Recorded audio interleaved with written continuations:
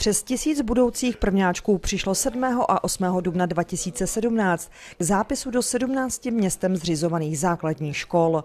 Letos zaplní prvňáčci zhruba 40 tříd. Letos poprvé přišli prvňáčci k zápisu v jiném, pozdějším termínu.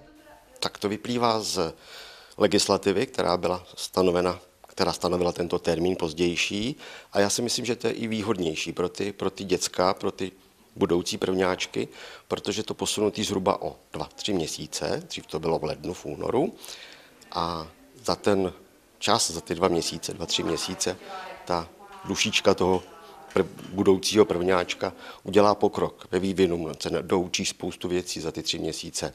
Takže je to i výhodnější, že nebude tolik odkladu.